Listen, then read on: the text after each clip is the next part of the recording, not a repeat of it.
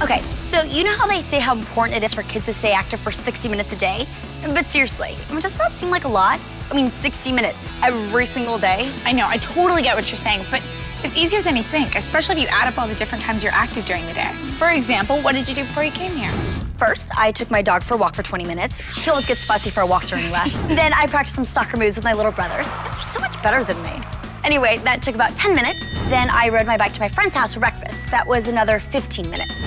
And of course, I spent way too long at breakfast. so I spent five minutes of running to set so I wouldn't be late. Yeah. And I think that's about it.